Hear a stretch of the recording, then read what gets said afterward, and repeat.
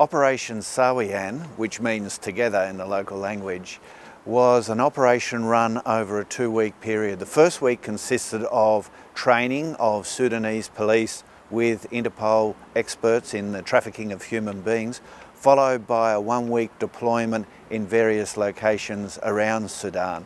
Uh, the first location was in some goldfields located about three and a half hours from Khartoum, and then also officers were deployed to Khartoum International Airport.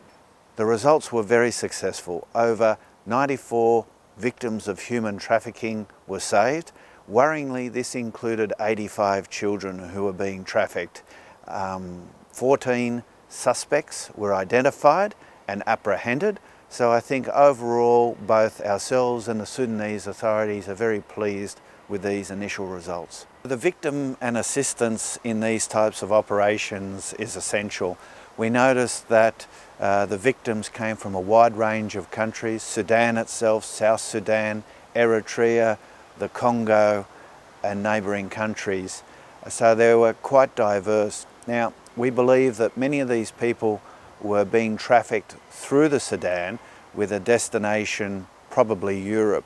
However, it was interesting to note they were then diverted by the human traffickers into the secondary criminal activities.